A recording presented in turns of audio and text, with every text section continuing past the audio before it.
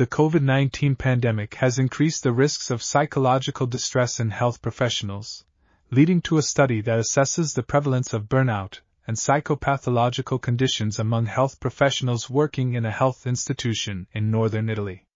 The study found that 71.2% of participants had scores above the clinical cutoff for state anxiety, while 26.8% had clinical levels of depression, 31.3% of anxiety, 34.3% of stress, and 36.7% of post traumatic stress.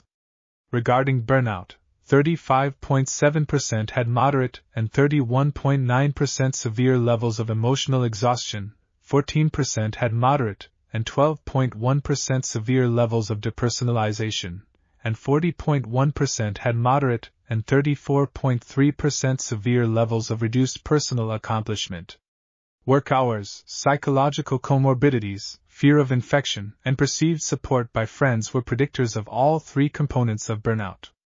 Female gender, being a nurse, working in the hospital, and being in contact with COVID 19 patients predicted both emotional exhaustion and depersonalization, while age predicted reduced personal accomplishment.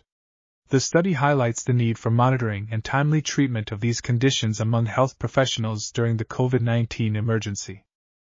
This article was authored by Emanuele Maria Giusti, Emanuele Maria Giusti, Elisa Pedroli, and others. We are RTCL.TV, links in the description below.